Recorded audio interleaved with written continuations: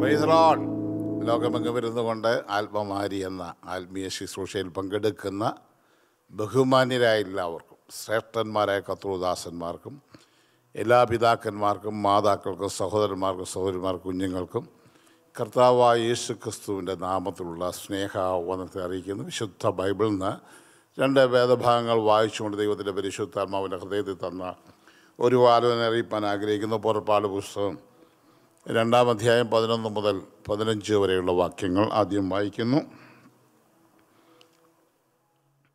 ആ കാലത്ത് മോശ മുതിർന്ന ശേഷം അവൻ തന്റെ സഹോദരന്മാരുടെ അടുക്കൽ ചെന്ന് അവരുടെ ഭാരമുള്ള വേല നോക്കി തന്റെ സഹോദരന്മാരിൽ ഒരു എബ്രായനെ ഒരു മിസ്രൈമിനെ അടിക്കുന്നത് കണ്ടു.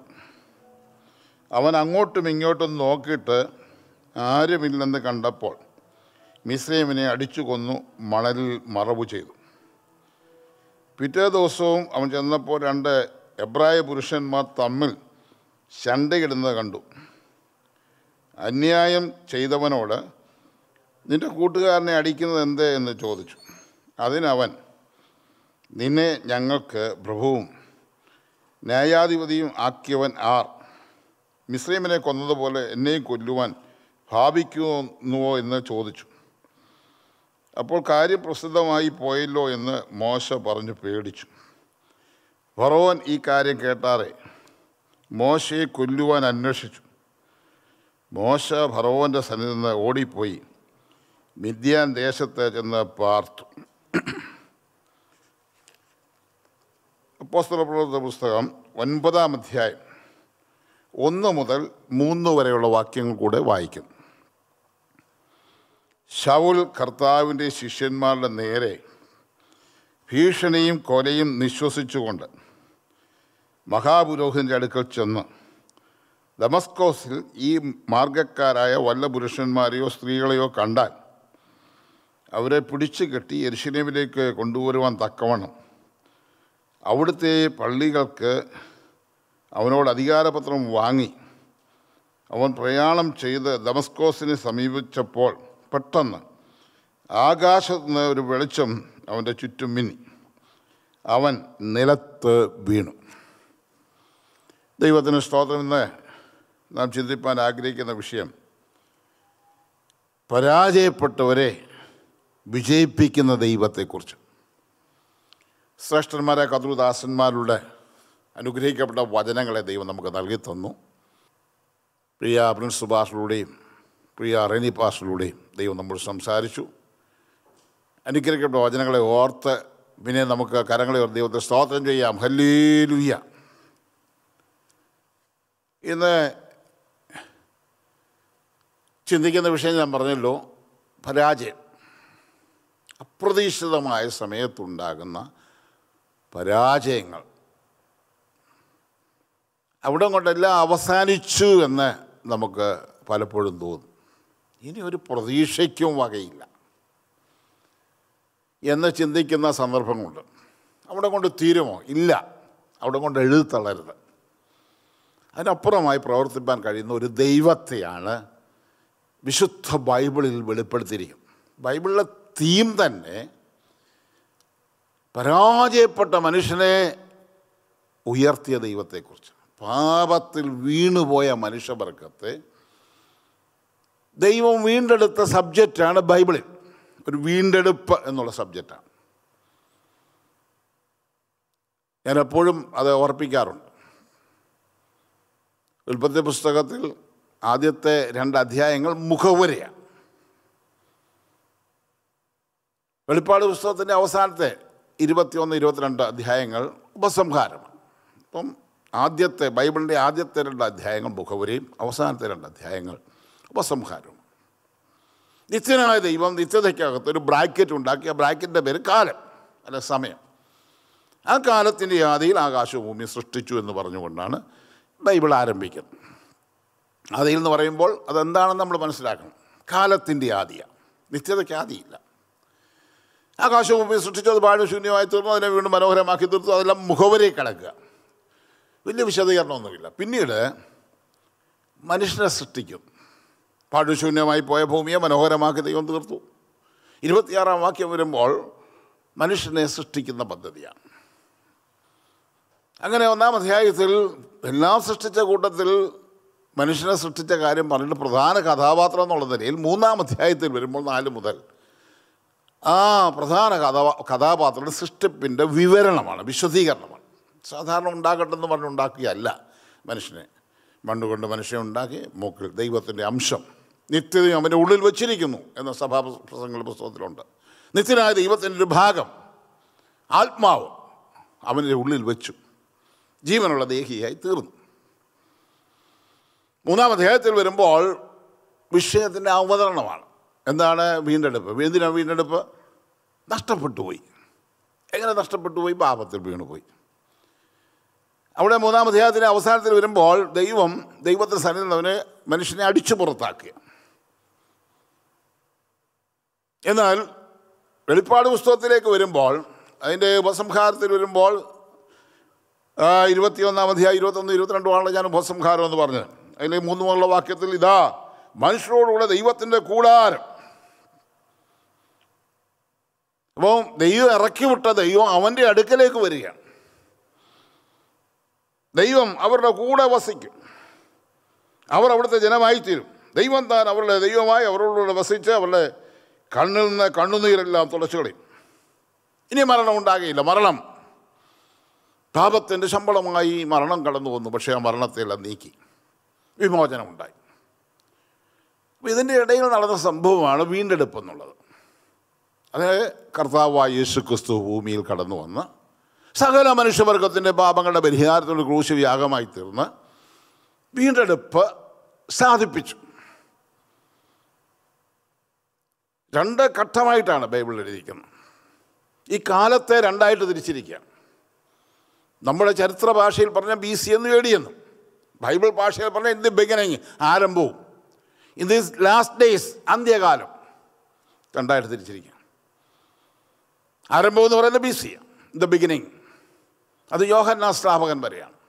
ലൂക്കോസിന് ശേഷം പതിനാറാം അധ്യായം പതിനാറാം വാക്യത്തിൽ ന്യായപ്രമാണം പ്രവാചകന്മാർ യോഹന്നാൻ വരെ. അതാണ് ബി സി. എ ഡി യേശു ക്രിസ്തു മുതൽ എബ്രാഹിം ലേഖനം ഒന്നാമധ്യായ ഒന്നു ഒന്നുമുള്ള വാക്യത്തിൽ ദൈവം പണ്ട് ഭാഗം ഭാഗമായിട്ടും വിവിധമായിട്ടും പ്രവാചകന്മാരോട് നമ്മുടെ പിതാക്കന്മാരോട് അള്ളിച്ചിട്ട് അന്ത്യകാലത്ത് അന്ത്യകാലം ദിസ് ലാസ്റ്റ് ഡേയ്സ് ഇരുപത്തിരണ്ട്. വെളിപ്പാട് പുസ്തകത്തിൽ നമ്മൾ കാണുന്നു. ബി സിയുടെ ആരംഭമാണ് ഇൻ ദി ബിഗനിങ് ആകാശവും ഭൂമി സൃഷ്ടിച്ചു എന്ന്. ഈ രണ്ട് ഘട്ടത്തിലുള്ള ആളുകളെയും വീണ്ടെടുക്കുന്ന യേശുക്രിസ്തുവിലൂടെയാണ്. യേശുക്രിസ്തു തൊട്ടുമുമ്പ് പ്രസംഗിച്ച പ്രസംഗനാണ് യോഹന്നാൻ സ്നാപകൻ. യോഹന്നാൻ ഒന്നാമതേ ഇരുപത്തി ഒൻപതാം വാക്യത്തിൽ അദ്ദേഹത്തിന്റെ പ്രസംഗത്തിൽ തീം എഴുതിയിട്ടുണ്ട്. യേശുക്രിസ്തുവിനെ ചൂണ്ടിക്കാട്ടിക്കൊണ്ട് പറഞ്ഞു ലോകത്തിന്റെ പാപത്തെ ചുമക്കുന്ന ദൈവത്തിന്റെ കുഞ്ഞാട്. പാപത്തെ ചുമക്കുന്ന ദൈവത്തിന്റെ കുഞ്ഞാടിൽ വിശ്വസിച്ചവരാണ് അതുകൊണ്ട് യാഗം കഴിച്ച് കുഞ്ഞാട് യാഗമാകാത്തതുകൊണ്ട് യേശുക്രിസ്തു മരിക്കാഞ്ഞതുകൊണ്ട് മൃഗങ്ങളുടെ മേൽ അവരുടെ പാപങ്ങളെ ചുമത്തി അതിനെ യാഗം അർപ്പിച്ച് ദൈവത്തോട് നീതീകരിക്കപ്പെട്ടവരാണ്. അൻപതാം സംഘത്തിന് അഞ്ചാം വാക്യം. യാഗം കഴിച്ച് ദൈവത്തോട് നിയമം ചെയ്ത വിശുദ്ധന്മാരാണ്. യേശുക്രിസ്തു കഴിഞ്ഞ് പ്രസംഗിച്ച പ്രസംഗകൻ പത്രോസാണ്. അപ്പം യേശുക്രിസ്തു ഒട്ടു ലാസ്റ്റ് പ്രസംഗിച്ച ആളിന്റെ തീമ പാപത്തെ ചുമക്കുന്ന ദൈവത്തിന്റെ കുഞ്ഞാണ്. ലൂക്കോസിന്റെ പതിനാറിന്റെ പതിനാറ്. കാലഘട്ടം യോഹന്നാൻ വരെയാണ്. യേശുക്രിസ്തു കഴിഞ്ഞ് പ്രസംഗിച്ച ആദ്യത്തെ പ്രസംഗം പത്രോസ് അപ്പോസ്തലൻ. അദ്ദേഹത്തിന്റെ പ്രസംഗത്തിന്റെ തീം അദ്ദേഹം എഴുതിയ കത്തിൽ ഒന്ന് പത്രോസ് രണ്ടിന്റെ ഇരുപത്തിനാല് നാം പാപം സംബന്ധിച്ച് മരിച്ച നീതിക്ക് ജീവിക്കേണ്ടത് യേശു ക്രിസ്തു നമ്മുടെ പാപങ്ങളെ ചുമന്നുകൊണ്ട് ക്രൂശന്മേൽ കയറി. യേശു ക്രിസ്തുവിനെ അടിപ്പിണരുകളാൽ നമുക്ക് സൗഖ്യം വന്നിരിക്കും നോക്കുക ചുമക്കുന്ന കുഞ്ഞാടിനെയാണ് പഴയ നിമിഷന്മാർ വിശ്വസിച്ചത്. പുതിയ നിയമത്തിൽ വരുമ്പോൾ ചുമന്ന കുഞ്ഞാട്. അതുകൊണ്ട് നമ്മൾ ഇനി ഒരു യാഗം കഴിക്കേണ്ട. യേശു യാഗമായി തീർന്നു. ഇനി ഒരു യാഗവും ശേഷിക്കുന്നില്ല എന്ന പ്രായലേഖനത്തിൽ ഇതാണ് ഞാൻ മുഖവരയിൽ പറഞ്ഞു നിർത്തട്ടെ. അപ്പോൾ ഈ രണ്ട് ഭാഗത്തും യേശു ക്രിസ്തുവിടെയാണ് നമ്മൾ വീടെടുപ്പ് പ്രാപിക്കും. പരാജയം. ഇന്ന് നമ്മൾ വായിച്ച രണ്ട് പേരുടെ ചരിത്രത്തിന്റെ ആരംഭമാണ്. മോശയുടെ ചരിത്രത്തിന്റെ ആരംഭം. പുറപ്പാട് ദിവസം രണ്ടാം അധ്യായത്തിലാണ്. ജനനം മുതൽ തന്റെ പിതാവ് മാതാവിനെ വിവാഹം ചെയ്തത് മുതൽ വേഗത്തിൽ മുഖവരിയായിട്ട് എഴുതിയിട്ട് നാൽപ്പത് വയസ്സ് തികയാറായും. അത് സ്റ്റെഫാനോസിന്റെ പ്രസംഗത്തിലാണ്. ഇവിടെ നമ്മൾ വായിച്ചപ്പോൾ അവൻ മുതിർന്ന ശേഷം സഫാർ പ്രസംഗത്തിൽ വരുമ്പോൾ ഏഴാം അധ്യായം ഇരുപത്തൊന്ന് മുതൽ വായിക്കുമ്പോൾ അദ്ദേഹം വാക്കിന് പ്രവർത്തനം സമർത്ഥരായി തീർന്നു. നാൽപ്പത് വയസ്സ് തികയാറായപ്പോൾ. അപ്പോൾ ആ സമയത്ത് അദ്ദേഹം മിസ്രൈമിലുള്ള ഇസ്രായേൽ മക്കളുടെ വേല കഠിന വേല ചെയ്യുന്ന സ്ഥലത്തേക്ക് ചെന്നു. അദ്ദേഹത്തിന്റെ ചെറിയ പ്രായത്തിൽ ഏകദേശം പത്ത് വയസ്സോളം മാതാപിതാക്കളുടെ കൂടെ താമസിച്ചു എന്നാണ് വേദശാസ്ത്രത്തിൽ പറയുന്നത്. മുലകുടി മാറുന്ന പ്രായം ഏകദേശം പത്ത് വയസ്സ് താഴെയാണ് ആ കാലഘട്ടത്തിൽ. കാരണം ചെറിയ പ്രായത്തിലെല്ലാം അമ്മയുടെ അപ്പന്റെ കൂടെ താമസിച്ചുകൊണ്ട് അവരിൽ നിന്ന് ചില അറിവുകൾ കിട്ടി. ഇത് നമ്മുടെ ദേശമല്ല. ദൈവം സന്ദർശിക്കും നമ്മുടെ പിതാക്കന്മാരുടെ ദൈവം പറഞ്ഞൊരു ദേശമുണ്ട് ഈ മിസ്രൈമല്ല ഈജിപ്റ്റല്ല കനാന. നമ്മുടെ പിതാക്കന്മാരുടെ ദൈവം പറഞ്ഞു അവസാനം ജോസഫ് നമ്മുടെ പിതാവായ ജോസഫ് മരിക്കുമ്പോൾ പറയുന്നത് ദൈവം നിങ്ങളെ സന്ദർശിക്കുമ്പോൾ എന്റെ അസ്ഥിയും കൂടെ കൊണ്ടുപോകണം. അപ്പോൾ ഈ സന്ദർശിക്കും നാലാം തലമുറക്കാർ ഇവിടേക്ക് വരുമെന്നുള്ള ആ വലിയ ചിന്ത ഉള്ളിലുണ്ട്. അപ്പോൾ അദ്ദേഹത്തിന് അറിയാം അദ്ദേഹം ഇസ്രേമിൽ പിന്നീട് പോയി പഠിച്ചു. പറവനപുത്രിയുടെ മകനായി വളർന്നു. സകല നിക്ഷേപങ്ങളുടെ ഉട- ഉടമസ്ഥനായി തീരുന്നു. പക്ഷേ അതെല്ലാം ത്യജിച്ചു. കാരണം അദ്ദേഹം ഇവിടെ വന്ന് അവർ വേല നോക്കിയപ്പോൾ നമ്മുടെ വിഷയത്തിലേക്ക് വരാം. ഒരു മിസ്രൈം ഇസ്രായേൽക്കാരനെ അടിക്കുന്ന കണ്ടപ്പോൾ അവനെ അടിച്ചു. അവൻ മരിച്ചു. കുലപാതകനായി തീർന്നു. കുലപാതകൻ. അവിടെയാണ് നമ്മുടെ വിഷയം. കുലപാതകനായി തീർന്നൊരു മനുഷ്യൻ. ഇത് പരിശുദ്ധാത്മാവ് സംസാരിക്കുന്ന അങ്ങനെയുള്ള ചില സാഹചര്യങ്ങൾ വിചാരിതമായി സംഭവിച്ചതാണ് മരി മനഃപൂർവം കൊല്ലാൻ വേണ്ടി വന്നതല്ല. ഒരുപക്ഷെ ഈ ശബ്ദം കേൾക്കുമ്പോൾ പരിശുദ്ധാത്മാവ് ജയിലിൽ കടന്നുകൊണ്ടാണ് സഹോദര താങ്കൾ കേൾക്കുന്നെങ്കിൽ സഹോദരി കേൾക്കുന്നെങ്കിൽ. ഒരുപക്ഷെ പരോളിൽ വന്ന് കേൾക്കുന്നുവെങ്കിൽ. ഒരുപക്ഷെ കേസിലൂടെ കടന്നു പോകുന്നുവെങ്കിൽ അവരോടുകൂടെ പരിശുദ്ധാത്മാവ് സംസാരിക്കുക. അവിടെ കൊണ്ട് ഇതിന്റെ ചരിത്രം തീർക്കുന്ന ദൈവമല്ല. ഒരു ശുഭകാലം തരുവാൻ കഴിയുന്ന ദൈവമാണ്. ഇനിയൊരു ശുഭകാലമുണ്ടോ? കൊലപാതകിയായി. ജീവിതത്തിൽ പരാജയപ്പെടുമ്പോൾ എല്ലാം തീർന്നു എന്ന് നമ്മൾ വിചാരിക്കരുത്. ഇതിനേക്കാൾ വലിയൊരു പരാജയമുണ്ടോ? അടുത്ത ദിവസം മറ്റൊരു സ്ഥലത്തേക്ക് ഈ മനുഷ്യൻ ചെന്നു. മോശ. രണ്ട് എബ്രായർ തമ്മിൽ വഴക്കുണ്ടാക്കിയപ്പോൾ മറ്റവനെ ശാസിച്ചു. അപ്പോൾ അവൻ കോപിച്ചു. നീ ആരാ? നിന്നെ ആരാ? ഞങ്ങൾക്ക് ഞങ്ങൾക്ക് അധികാരി നയകർത്തവാക്കിയതെന്ന് പറഞ്ഞ് അവനെ ഉന്തിക്കളഞ്ഞു. അത് സഫാന പ്രസംഗത്തിൽ അങ്ങനെയാണ്. തള്ളിക്കളഞ്ഞു. അപമാനിച്ചു. അപ്പോൾ പേടിച്ചു പോയി മറ്റൊരു സ്ഥലത്തായിരുന്ന കാര്യം പ്രസിദ്ധമായി. പിന്നീട് ഒരു വാർത്ത അറിഞ്ഞു ഫറവോൻ അറിഞ്ഞു ഫറവോൻ കൊല്ലാൻ പോവുകയാണെന്നുള്ള വാർത്തയും കൂടെ ആ അവിടുന്ന് തനിക്ക് കേൾക്കുവാണ്ടിയാത്തത് അവിടുന്ന് തന്നെ ഓടിപ്പോവുകയാണ്. എല്ലാം ഉപേക്ഷിച്ച് ഓടിപ്പോയിരിക്കുന്ന ഒളിവിലായിരിക്കും ഒരു പക്ഷേ സഹോദര. എന്നാൽ നിന്റെ സ്ഥിതിയെ മാറ്റാൻ കഴിയുന്നൊരു ദൈവമുണ്ട്. നിന്റെ പരാജയത്തെ വിജയമാക്കുവാൻ കഴിയുന്നൊരു ദൈവമുണ്ട്. അന്യായമായ കേസുകളോ ന്യായമായ കേസുകളോ ചില സാഹചര്യങ്ങൾ സമ്മർദ്ദങ്ങൾ കൊണ്ട് കൂട്ടുകെട്ടുകൊണ്ട് നീ അങ്ങനെ അകപ്പെട്ടു പോയിട്ടുണ്ടെങ്കിൽ അവിടുന്ന് ഒരു ജീവിതം തരാൻ ദൈവത്തിന് കഴിയുമെന്നേ. അതിനാ യേശു വന്നത്. താങ്കളുടെ പാപം കൂടെ ഏറ്റെടുത്താണ് യേശു മരിച്ചത്. ക്രൂശിൽ എല്ലാവർക്കും വിമോചനമുണ്ട്. നിങ്ങളുടെ പാപം എത്ര കടും ചുവപ്പാണെങ്കിലും കടും ചുവപ്പാണെങ്കിലും കടും ചുവപ്പാണെങ്കിലും ഹിമം പോലെ വെളുപ്പിക്കുവാൻ കഴിയുന്ന ദൈവമാണ്. എന്റെ ജീവിതത്തിന് ഒരു പരിഹാരമുണ്ടോ? എന്റെ പാപം ക്ഷമിക്കുമോ? ഏത് മനുഷ്യന്റെ പാപത്തെ ക്ഷമിക്കുവാൻ കഴിയുന്ന ദൈവമാണ് നമ്മുടെ ദൈവം? ഞാൻ വേഗത്തിൽ പോകട്ടെ. ഈ മോശയെ ഒരു വലിയ ചരിത്ര പുരുഷനാക്കി മാറ്റിയ ദൈവമാണ് നമ്മുടെ ദൈവം. എല്ലാം നഷ്ടപ്പെട്ട് ജീവിതത്തിൽ പരാജയത്തിന്റെ പുറത്ത് പരാജയമായി നാടുവിട്ടുപോയ മനുഷ്യൻ. എന്നാൽ ബൈബിളിൽ വെളിപ്പെട്ടിരിക്കുന്ന ദൈവം അവിടെ വെച്ച് എഴുത്തള്ളുകയില്ല അവനെ ഉയർത്തുന്ന ദൈവമാണ്. ഇത് ഈ സാഹചര്യം മാത്രമല്ല നിന്റെ ജീവിതത്തിൽ ഏത് പരാജയത്തെയും വിജയമാക്കുവാൻ ദൈവത്തിന് കഴിയും. ഒരുപക്ഷെ പരീക്ഷയിൽ നിങ്ങൾ പരാജയപ്പെട്ടെങ്കിൽ നിരാശപ്പെട്ടു പോകരുത്. ജീവിതത്തിലെ മറ്റ് സാഹചര്യങ്ങൾ നിങ്ങൾ പരാജയപ്പെട്ടു പോയെങ്കിൽ നിരാശപ്പെട്ടു പോകരുത്. നഷ്ടപ്പെട്ട പലതും ഓർത്ത് നിങ്ങൾ ദുഃഖിച്ചിരിക്കുന്നെങ്കിൽ ഇന്ന് രാത്രി പരിശുദ്ധ പറയുന്നു ഇല്ല. അതിനകത്ത് അത്ഭുതം ചെയ്യാൻ കഴിയുന്ന ഒരു ദൈവമാണ് നമ്മുടെ ദൈവം. നമുക്ക് ഈ മനുഷ്യന്റെ ചരിത്രത്തിന്റെ ആരംഭമാണ്. വലിയ പ്രതീക്ഷയോടുകൂടിയാണ് അദ്ദേഹം മുമ്പോട്ട് പോയത്. എല്ലാം പഠിച്ച മനുഷ്യനാണ്. വലിയ പൊസിഷനുള്ള മനുഷ്യനാണ്. ജീവിതത്തിൽ അങ്ങനെയുള്ള തകർച്ചകൾ നേരിടുന്നവരോട് പരിശുദ്ധാത്മ സംസാരിക്കുക. കണക്കൂട്ടെല്ലാം തെറ്റിപ്പോയി. ഒരിക്കലും അത് ആഗ്രഹിച്ചതല്ല പക്ഷെ സംഭവിച്ചു പോയി. ചില സന്ദർഭങ്ങൾ ഒഴിവായിരുന്നെങ്കിൽ അവിടെ പോയില്ലായിരുന്നുവെങ്കിൽ ഇത് സംഭവിക്കുകയില്ലായിരുന്നു. സംഭവിച്ചു പോയല്ലോ ഇനി എന്താ പരിഹാരം? ബൈബിളിൽ മറ്റൊരു കഥാപാത്രം ഒരു ചരിത്രപുരുഷനെ നമുക്ക് കാണുവാൻ കഴിയും. കഥാപാത്രം എന്ന് പറയുന്നത് വെറും കഥയല്ല ചരിത്രപുരുഷന്മാരാണ് ബൈബിളിലെ. ജോസഫ് അദ്ദേഹം പിതാവ് പറഞ്ഞു നിന്റെ സഹോദരന്മാരെ ക്ഷേമം അന്വേഷിക്കുക. ഉൽപ്പത്തി മുപ്പത്തിയേഴാം അധ്യായത്തിലാണ്. അപ്പോൾ അവരെ ആട് മേയിക്കുന്ന സ്ഥലത്തേക്ക് അന്വേഷിച്ചു പോവുകയാണ്. ഷേഖേം എന്ന് പറയുന്ന സ്ഥലത്താണ് അവർ ആടിനെ മേയിക്കുന്നത്. അപ്പം ഷേഖേമിലേക്കാണ് പറഞ്ഞു വിടുന്നത് ഷേഖേമിൽ ചെന്നപ്പോൾ അവരെ കണ്ടില്ല. അപ്പോൾ അവിടെ എല്ലാം അന്വേഷിച്ചു. അവിടെയുള്ള ആളുകൾ ചോദിച്ചു ഇവിടെ ആടിനെ മേയിച്ചു കൊണ്ടിരുന്ന സഹോദരന്മാർ ഇവിടെ ഉണ്ടായിരുന്നില്ല അവരെങ്ങോട്ട് പോയെന്നറിയാം? അവർ പറഞ്ഞു ഞങ്ങൾക്ക് അറിയത്തില്ല പക്ഷേ ഞങ്ങൾ കേട്ടു അവർ സംസാരിക്കുന്ന കേട്ടു. ആരോ പറഞ്ഞു നാം ദോധാനിലേക്ക് പോക എന്ന് അവർ പറയുന്ന കേട്ടു. അപ്പോൾ ഉറപ്പില്ലെങ്കിൽ പോലും ജോസഫ് അവരെ തേടി ദോധാനിലേക്ക് പോയി. ദോധാനിലേക്ക് ചെന്നപ്പോൾ താൻ പ്രതീക്ഷിച്ചതുപോലെയല്ല.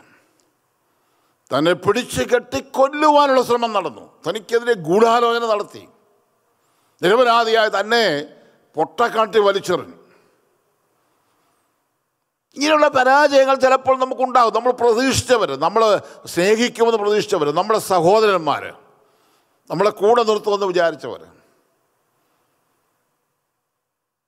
നമ്മളെ കൈവിടുന്ന സാഹചര്യങ്ങളുണ്ട്. ആ പൊട്ടക്കിണർ കൊണ്ട് തീരത്തില്ല ജീവിതം. അതാണ് നമ്മുടെ ദൈവത്തിന്റെ പ്രത്യേകത. പൊട്ടക്കിണറ്റിൽ കിടക്കുന്നവനെ സിംഹാസനത്തിൽ കൊണ്ടിരുത്തുവാൻ കഴിയുന്ന ഒരു ദൈവത്തെയാണ് ബൈബിൾ വെളിപ്പെടുത്തിയിരിക്കുന്നത്. നമ്മളത് വിശ്വസിക്കണം. അതിനാണ് എഴുതി വച്ചിരിക്കുന്നത്. നമുക്ക് ബുദ്ധി ഉപദേശത്തിന് വേണ്ടി എഴുതി വച്ചിരിക്കുകയാണ്. പല കാര്യങ്ങൾ മനസ്സിലാക്കാൻ വേണ്ടി. ബുദ്ധി ഉപദേശത്തിന് വേണ്ടി എഴുതി വച്ചിരിക്കുകയാണ്. നോക്കുക. മോശയുടെ ജീവിതം പാളിപ്പോയി. പിടികിട്ട പുള്ളിയായി മറ്റൊരു സ്ഥാ നാട്ടിൽ ചെന്ന് ഒളിവിൽ പാർക്കുന്നു. വിദ്യാഭ്യാസം ഉണ്ടോണ്ട് സർട്ടിഫിക്കറ്റുണ്ട് സർട്ടിഫിക്കറ്റുണ്ട് സ്വന്തം പേരിൽ ഒത്തിരി സ്വത്തുണ്ട് പക്ഷെ അനുഭവിക്കാൻ യോഗമില്ല. മിസ്ലൈമിലെ നിക്ഷേപങ്ങളെക്കാൾ എബ്രാഹിം ലേഖനത്തിൽ മിസ്ലൈമിലെ നിക്ഷേപങ്ങളെക്കാൾ ദൈവത്തിലുള്ള കഷ്ടം അനുഭവിക്കുന്നത് അപ്പോൾ നിക്ഷേപങ്ങളുണ്ട്. ഇരുട്ടിലെ നിക്ഷേപങ്ങളും മറവുള്ള ഗുപ്തനിധികളെന്ന് ആ നിക്ഷേപങ്ങളെക്കുറിച്ച് ആ കാലങ്ങളിലെ നിക്ഷേപങ്ങൾ അങ്ങനെയാണ്. ഇരുട്ടിലെ നിക്ഷേപങ്ങൾ മറവുള്ള ഗുപ്തനിധികൾ എന്ന് പറഞ്ഞാൽ നിധികളാണ്. വലിയ സമ്പന്നനായിരുന്നു പക്ഷെ എല്ലാം സീറോ ആയി. പരിശുദ്ധാത്മാവ് താങ്കളോട് സംസാരിക്കും എല്ലാം ഉണ്ടായിരുന്നു എന്നാൽ ഇന്ന് സീറോ ആയിരിക്കും. തീരത്തില്ല അവിടെ കൊണ്ട് തീരത്തില്ല.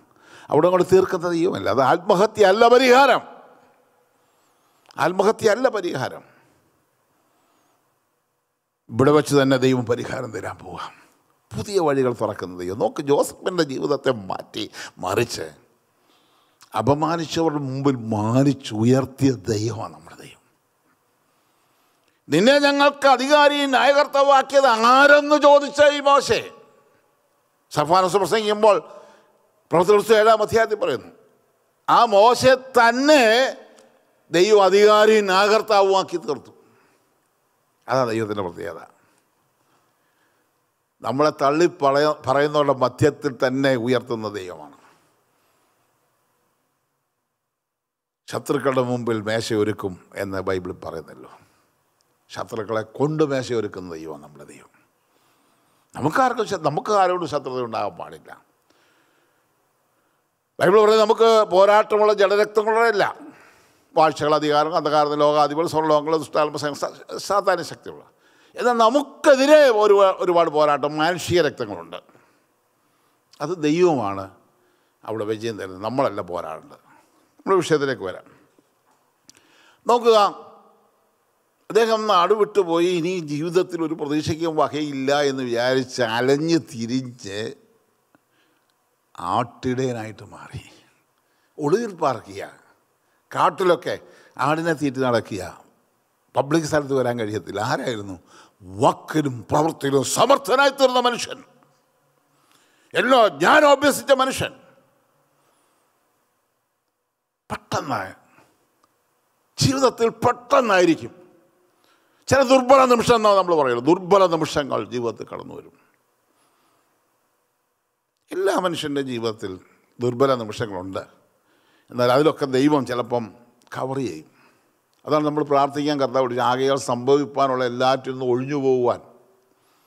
സാത്താൻ ഇങ്ങനെയുള്ള ദുർബല നിമിഷം നമ്മുടെ മുമ്പിൽ കൊണ്ടുവന്ന് നമ്മളെ പരാജയപ്പെടുത്തുവാൻ ശ്രമിക്കുമ്പോൾ നമുക്ക് സ്വന്തമായി ജയിക്കാൻ കഴിയാത്തതുകൊണ്ട് ദൈവത്തോട് നമ്മൾ പ്രാർത്ഥിക്കുക. ദൈവമേ ഒഴിവാക്കണമേ. കർത്താവ് പഠിപ്പിച്ച പ്രാർത്ഥന തന്നെ അങ്ങനെയല്ലേ? പരീക്ഷ അപ്പോൾ ആ ദുഷ്ടന്റെ കയ്യിൽ നിന്ന് വിടുവിക്കണമേ. അത് ഏറ്റവും വലിയ പ്രാ- പ്രാർത്ഥനയാണ്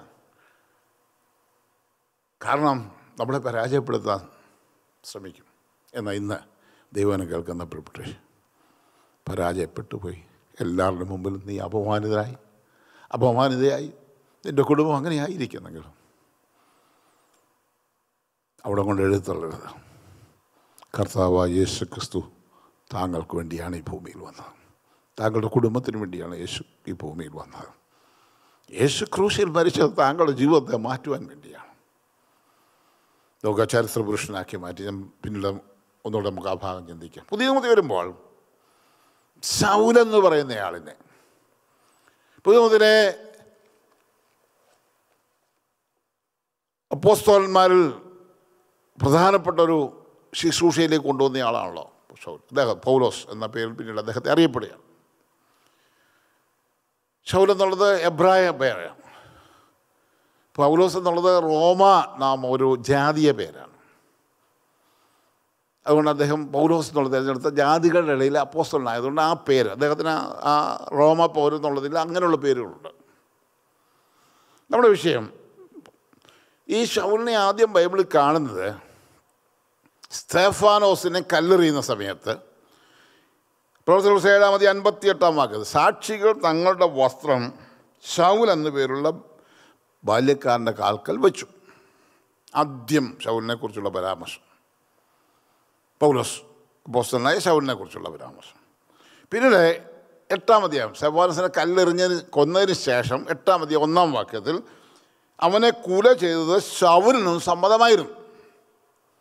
സന്നിധി സംഘമുണ്ട്. യഹൂദന്മാരുടെ മതകോടതിയാണ്. സന്നിധി സംഘം എന്ന് പറയുന്നത് മതകോടതിയാണ്. മതകോടതിക്ക് ഒരുപാട് അധികാരങ്ങൾ. മോശ കൊടുത്ത നയപ്രമാണ പ്രകാരം തന്നെയുള്ള അധികാരങ്ങളുണ്ട് എങ്കിൽ ഇടക്കാലത്ത് വന്നപ്പോൾ. യേശുക്രിസ്തുവിനെ ക്രൂശിക്കുന്ന സമയത്ത് നമുക്കറിയാം. അവിടെ പിലാത്തോസിന്റെ അടുക്കൽ ചെന്ന് യേശുവിനെ വിസ്തരിക്കുമ്പോൾ ഇവനെ ക്രൂശിക്കണം നിങ്ങൾ കൊണ്ടുപോയി ചെയ്യുക എന്ന് പറഞ്ഞപ്പോൾ ഇല്ല ഞങ്ങൾക്ക് അതിനുള്ള അധികാരമില്ല. കാരണം ചില അധികാരങ്ങൾ വെട്ടിക്കുറച്ചു. ചരിത്രം പഠിക്കുമ്പോൾ നമുക്ക് കാണുവാൻ കഴിയും. കൈസറ് സാമ്രാജ്യമാണ്. റോമാ സാമ്രാജ്യത്തിൽ ചേർക്കപ്പെട്ട് കഴിഞ്ഞപ്പോൾ പിന്നെ അവരെ ഭരിക്കുന്നത് കൈസറുടെ അധീനതയിലുള്ള ഒരു ഭരണമാണ്.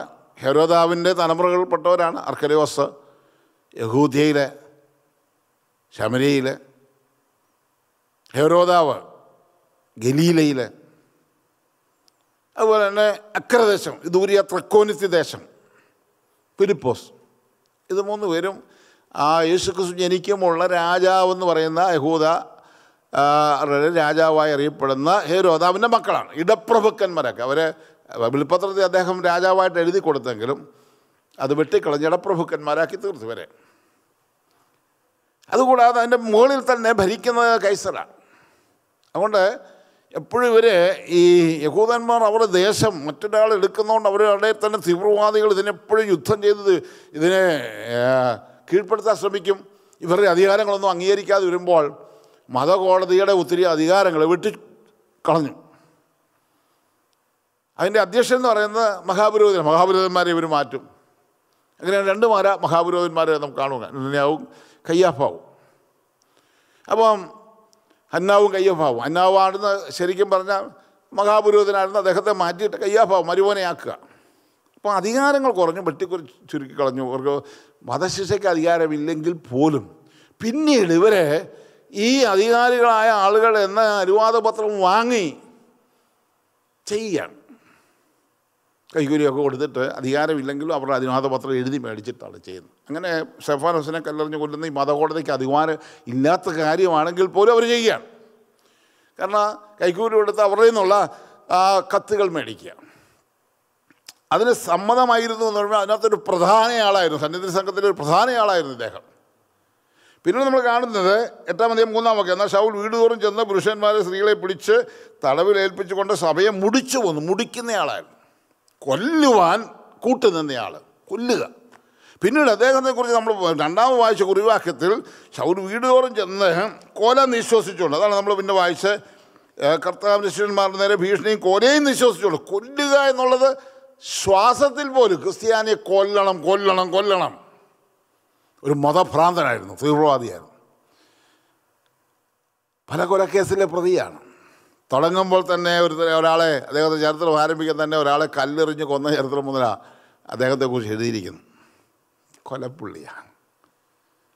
അങ്ങനെ അദ്ദേഹം ഡമസ്കോസ് ഏതാണ്ട് ഇരുന്നൂറ്റി നാൽപ്പത് കിലോമീറ്റർ എറുഷലേമിൽ നിന്ന് വടക്കോട്ട് വന്ന് സിറിയയിൽ വന്ന് ഡമസ്കോസിൽ വരുന്ന ആ അതിന്റെ പടിവാതുക്കൾ അതിനകത്തുള്ള യഹൂദന്മാരെ ഈ മാർഗത്തിൽ വന്നവരെല്ലാം പിടിച്ച് വലിച്ചഴച്ച് കൊല്ലാൻ വേണ്ടി കൊല്ലണമെന്നാ ശ്വാസ ശ്വാ കൊല നിശ്വസിക്കാന്ന് പറഞ്ഞത് കൊല്ലണമെന്ന് പറയല്ല ശ്വസിക്കുന്ന പോലും കൊല്ലുക എന്നുള്ളതാണ്. ഏത് ഊണിലും ഉറക്കത്തിലും എല്ലാം ക്രിസ്ത്യാനികളെ കൊല്ലണം കൊല്ലണം കൊല്ലണം. ഒരു കൊലപാതകിയായിട്ടാണ്. കൊലപാതകത്തിൽ നേർത്തു നൽകുന്ന ഭീകര സംഘടനയുടെ നേതാവായിട്ടാണ് അറിയപ്പെടുന്നത്. ഈ ഭീകരൻ അദ്ദേഹത്തിന്റെ ചരിത്രം നമുക്ക് കാണുവാൻ കഴിയുന്നത് അധികാരപത്രമെല്ലാം വാങ്ങി ചെന്നപ്പോൾ അടികൊണ്ട് താഴെ വീണു. ദമസ്കോസിന്റെ മൂന്നാം വാക്യത്തിലിരിക്കുന്നു ദമസ്കോസ് സമീപിച്ച് പെട്ടെന്ന് ആകാശത്തൊരു വെളിച്ചമുണ്ടായി വെളിച്ചം അവന്റെ ചുറ്റും മിന്നി അവൻ നിലത്തു വീണു. താഴെപ്പോയി പോയി. കണ്ണിന്റെ കാഴ്ചയെല്ലാം നഷ്ടപ്പെട്ടു പോയി. ബലമില്ലാത്തവനായി തീർന്നു. അവിടെ കൊണ്ട് അവന്റെ ജീവിതം തീരുക. ഭയങ്കര മിടുക്കനായിട്ട് ഇറങ്ങിയ. ഇങ്ങനെയുള്ള സംഘടനകൾക്കൊക്കെ നമ്മൾ നേതൃത്വം കൊടുക്കുമ്പോൾ നമ്മൾ ധരിക്കും നമ്മൾ മിടുക്കന്മാരാണെന്ന്. പക്ഷേ എത്ര നാൾ മുമ്പോട്ട് പോകുന്നറിയത്തില്ല നോക്കുക അടിച്ച് താഴെ പോയി. ഈ കൊലപാതകിയുടെ ചരിത്രമാണ് ഷവലിലൂടെ ആരംഭിക്കുന്നത്. ഇപ്പം രണ്ട് ദൈവദാസന്മാർ ബി സിയിലെ എ ഡിയിലെ രണ്ട് പേര് കൊലപ്പുള്ളികളാണ് നമുക്കറിയാം കൊലപാതകം. അങ്ങനെയുള്ള സമൂഹം പോലും അംഗീകരിക്കത്തില്ല. പിന്നീട് വരുമ്പോൾ.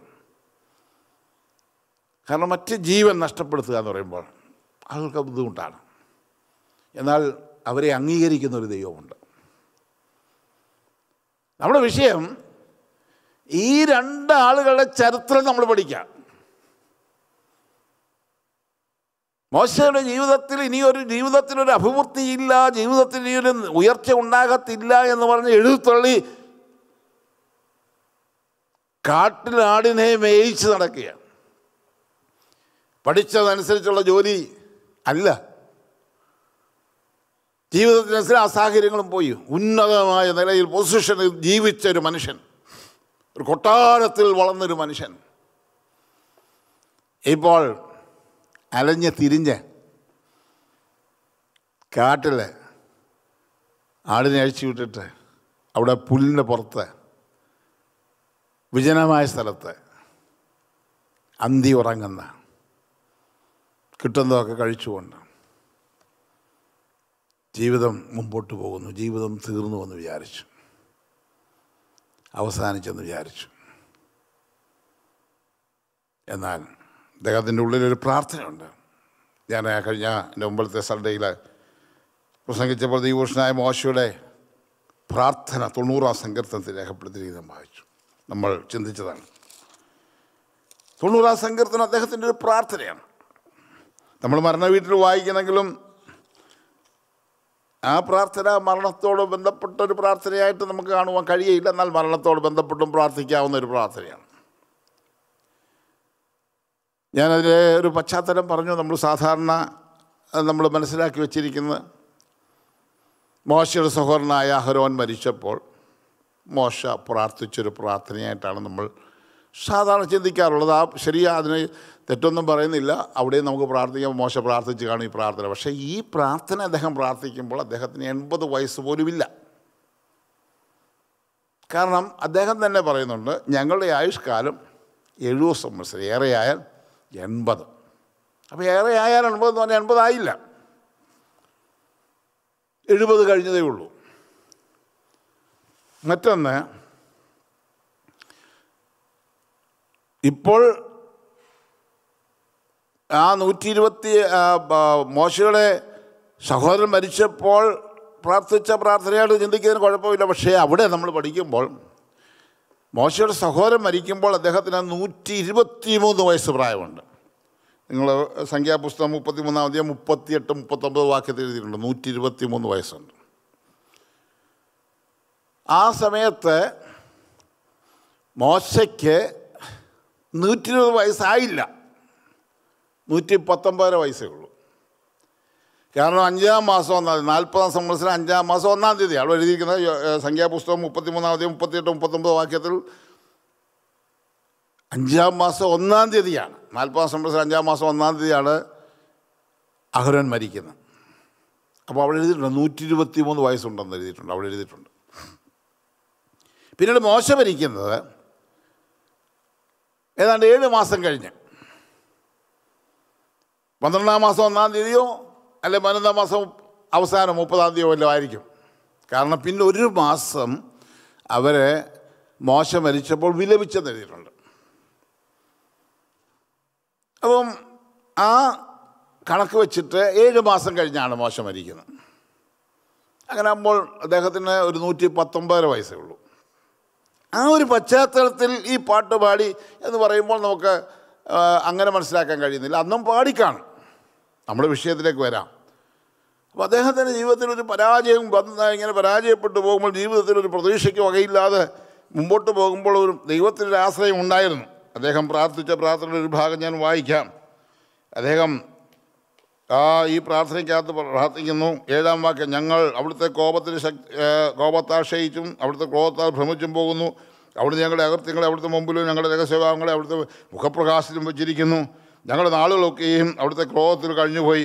ഞങ്ങളുടെ സമ്മത്സരങ്ങൾ എണ്ണുവാൻ ഞങ്ങൾ ഞങ്ങളൊരു നെടുവ് പോലെ കഴിക്കുന്നു. ഞങ്ങളുടെ ആയുഷ്കാലം എഴുപത് സംവത്സരം ഏറെ ആയാലും അൻപത് സംവത്സരം അതിന്റെ പ്രതാപം പ്രയാസവും ദുഃഖവും അത്രേ. അത് വേഗം തിരികെ ഞങ്ങൾ പറന്നു പോവുകയും ചെയ്യുന്നു. അവിടുത്തെ കോപത്തിന്റെ ശക്തി അവിടുത്തെ ഭയപ്പെട്ട് വന്നക്കണം അവിടുത്തെ ക്രോധത്തെ ഗ്രഹിക്കുന്നതിനാൽ ഞങ്ങൾ. ജ്ഞാനമുള്ള ഒരു ഹൃദയം പ്രാപിക്കത്തോളം ഞങ്ങളുടെ നാളുകളെ എണ്ണുവാൻ ഞങ്ങളെ ഉദ്ദേശിക്കണമേ. യഹോവേ മടങ്ങി വരണം. എത്രത്തോളം താമസം അടിയങ്ങളോട് സഹതാപം തോന്നണമേ. കാലത്ത് തന്നെ അവിടുത്തെ ദയ കൊണ്ട് ഞങ്ങളെ തൃപ്തരാക്കണേ. ഞങ്ങളുടെ ആയുഷ്കാലമൊക്കെ ഞങ്ങൾ ഘോഷിച്ച് ആനന്ദിക്കും. അപ്പോൾ അദ്ദേഹം ദൈവത്തെ പ്രതീക്ഷ വെച്ച് ദൈവമേ മടങ്ങി വരണമേ. സഹായിക്കണമേ. അതാണ് അദ്ദേഹം പറയുന്നത്. ഹോവ്യം മടങ്ങി വരണമേ. കാലത്ത് തന്നെ അടിയങ്ങളോട് സഹതാ സഹതാപം തോന്നണമേ. കാലത്ത് തന്നെ ഞങ്ങളെ അവിടുത്തെ ദൈവകൊണ്ട് തൃപ്തരാക്കണേ എന്നാണ് ഞങ്ങളുടെ ആഷ്കാലമൊക്കെ ഞങ്ങൾ ഘോഷിച്ചാണ് ദൈവത്തോട് നിലവിളിക്കുന്ന ഒരു മനുഷ്യനെയായിട്ടുള്ള ഒരു പ്രാർത്ഥനയാണ് അദ്ദേഹത്തിന്. നമ്മുടെ വിഷയത്തിലേക്ക് വരാം. ആ ഹൃദയത്തിലെ പ്രാർത്ഥനകൾ സ്വർഗത്തിൽ ചെന്നു. ജീവിതത്തിൽ എല്ലാം പരാജയപ്പെട്ടു തീർന്നു എന്ന് വിചാരിച്ചു. പക്ഷേ പ്രാർത്ഥന സ്വർഗത്തിൽ ചെന്ന് ദൈവത്തെ വിളിച്ചപേക്ഷിക്കുന്നവർ ഒരിക്കലും ലക്ഷിച്ചു പോകത്തില്ല. ദൈവം ഇറങ്ങി വന്നു. മോശയുടെ ചരിത്രം മാറ്റി. മോശയുടെ ചരിത്രം മാറ്റിയെന്ന് പറഞ്ഞാൽ പഴയ നിയമത്തിലെ വലിയൊരു ചരിത്രപുരുഷനാക്കി മാറ്റി. രണ്ട് സഭയാണ് ബൈബിളിൽ നമുക്ക് കാണുന്നത് പഴയ നിയമസഭ ഇസ്രായേൽ മക്കളുടെ സഭ. പുതിയ നിയമസഭ ക്രിസ്തീയ സഭ.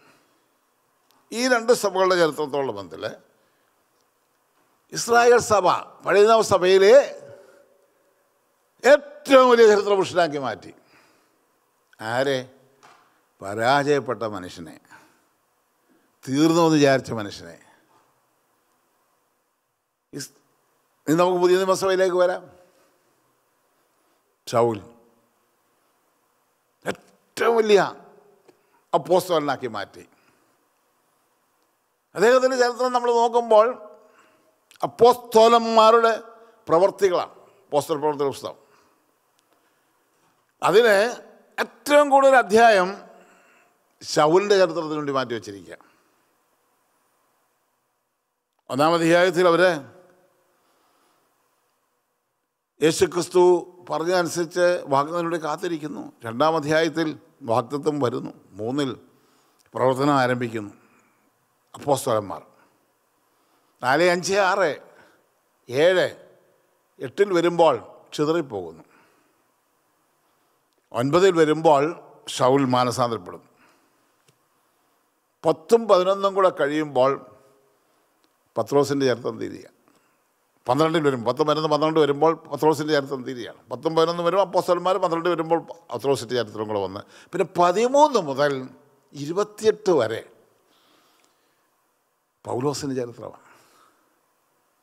ഒൻപതിൽ അദ്ദേഹത്തിന്റെ വിളി പതിമൂന്ന് പതിനാല് അദ്ദേഹത്തിന്റെ ഒന്നാമത്തെ വിഷയാത്ര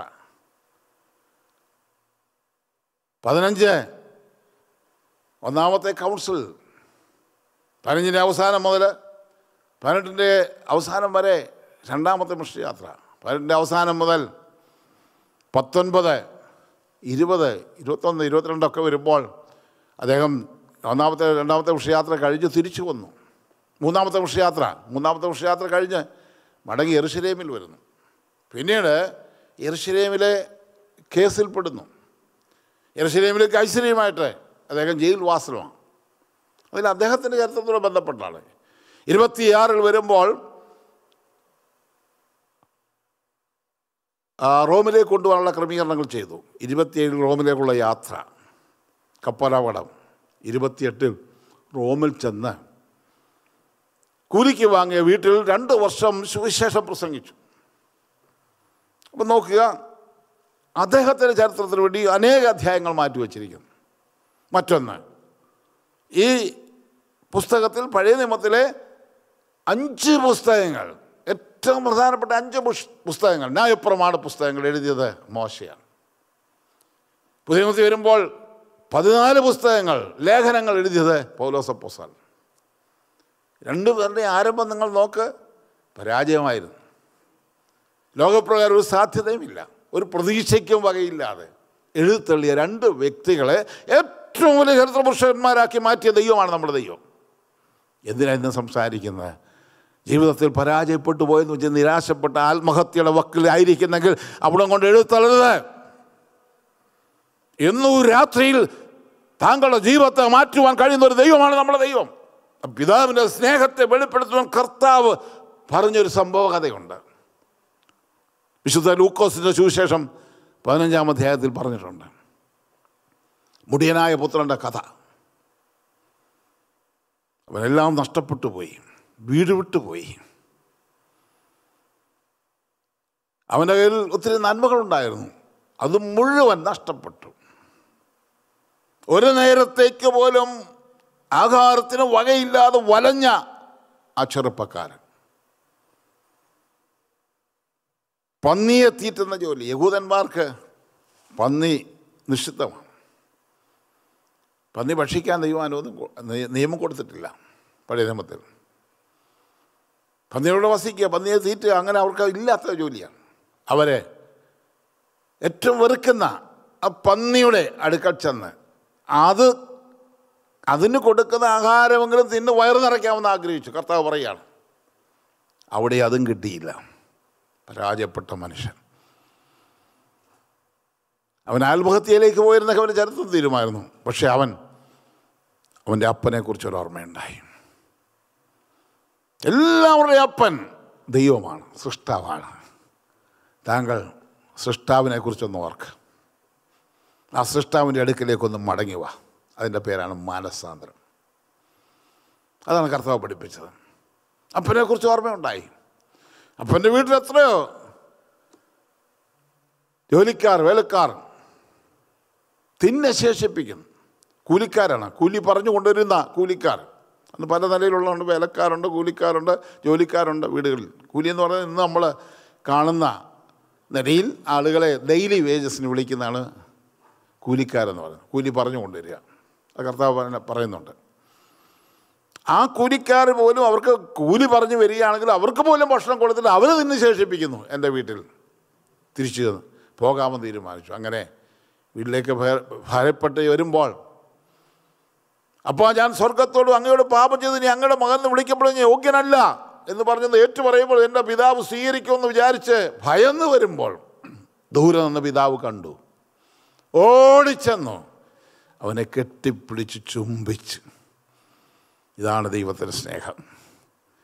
ഇന്ന് രണ്ട് കൈയും നീട്ടി കെട്ടിപ്പിടിച്ച് താങ്കളെ സ്വീകരിക്കാൻ കാത്തിരിക്കുന്ന ഒരു സ്വർഗീയ പിതാവുണ്ട്. അതാണ് ഞങ്ങളുടെ സന്ദേശം. നിന്റെ ജീവിതത്തെ മാറ്റി നിന്റെ ചരിത്രത്തെ മാറ്റി. നിന്നെ ഒരു തിളങ്ങുന്ന മുക്താക്കി തീർക്കുവാൻ ദൈവത്തിന് കഴിയും. പരാജയപ്പെട്ട മോശെ തിളങ്ങുന്ന മുക്താക്കി തീർത്തു.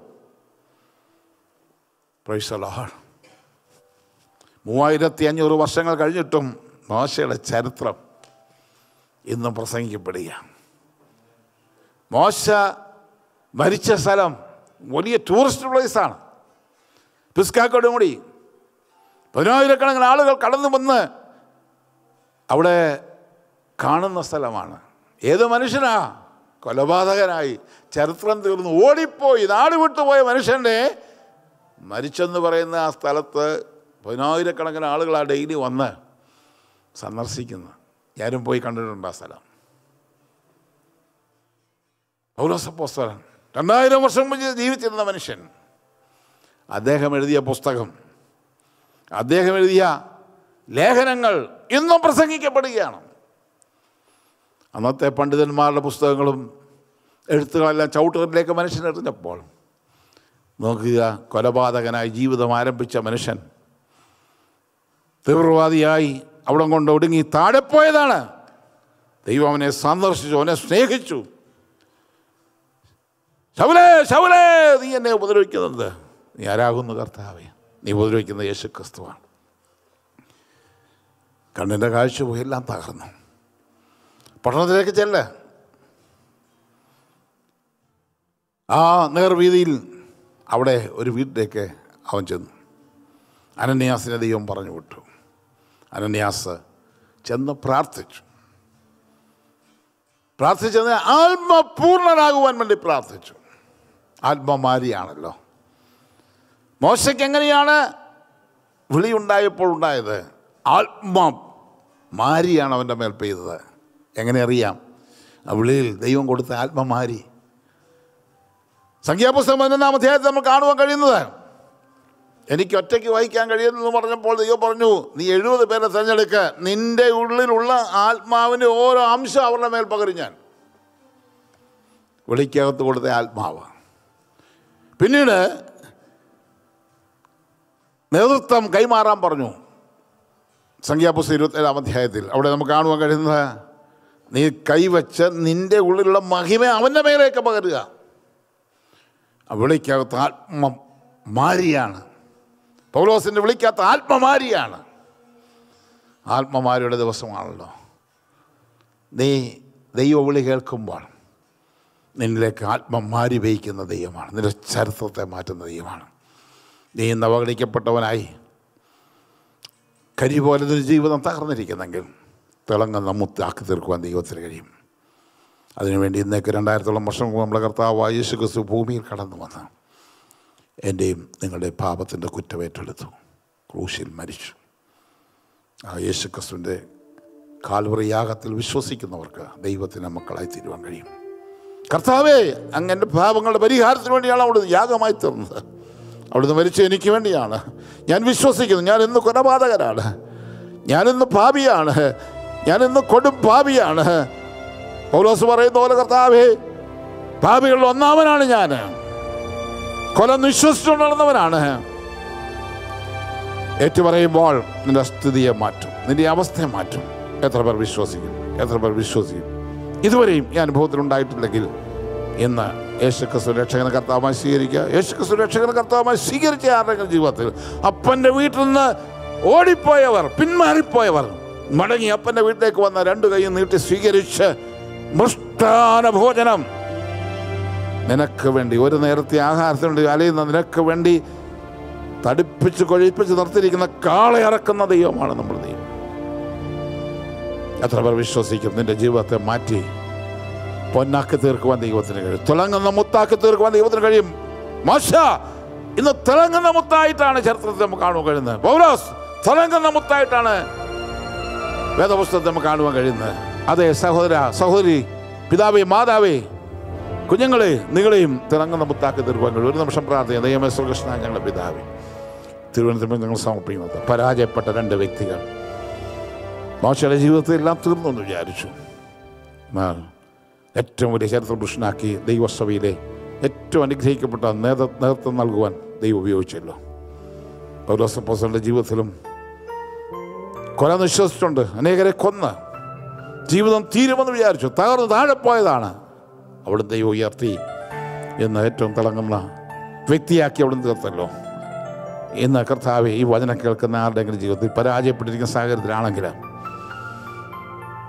മോശയെ പോലെ പ്രാർത്ഥിക്കുന്നവർക്ക് വേണ്ടി അത്ഭുതങ്ങൾ ചെയ്യണമേ. പോലോസിനെ പോലെ ദൈവത്തോട് ഏറ്റുപറയുന്നവർക്ക് വേണ്ടി അത്ഭുതങ്ങൾ ചെയ്യണമേ.